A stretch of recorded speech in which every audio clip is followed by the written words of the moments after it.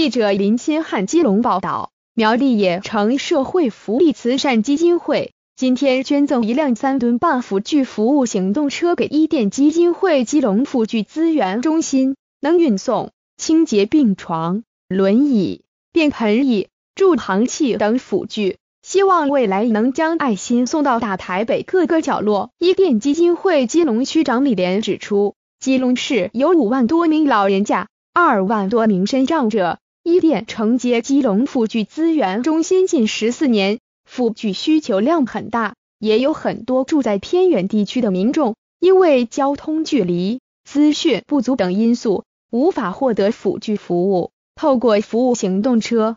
让弱势族群也能享有安全卫生的辅具。叶城总干事许家纯表示，辅具专车让服务更具机动性与便利性，帮助更多弱势身障者。辅具的清洁维护非常重要，就像家里要定时清洁被单、床套一样，延续使用寿命，让使用者更加安全有保障。期许服务扩大到更多角落，帮助更多需要的民众。医电人员表示。他们现在的辅具服务行动车是用箱型车改装，车体较小，载一张病床就满了。新车可以载三到四张病床，还有轮椅、便盆椅、助行器等其他辅具及清洁消毒设备，非常实用。现在除了清洁消毒设备，气垫床与轮椅、轮胎皮、便盆椅坐垫、扶手等消耗零件也都很匮乏。希望善心民众捐助，